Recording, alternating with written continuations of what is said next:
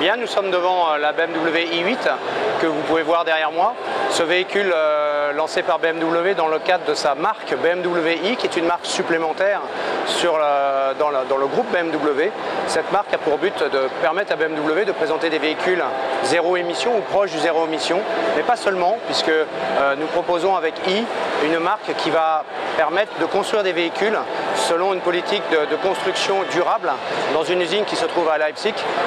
qui a pour mission de construire ces véhicules avec des matériaux durables, en étant elle-même inscrite dans une politique qui consiste à produire sa propre électricité et donc de s'inscrire dans une politique de développement durable pour le groupe BMW.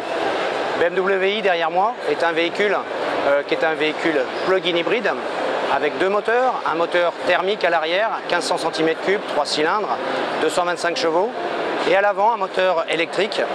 130 euh, chevaux, donc un total de 355 chevaux,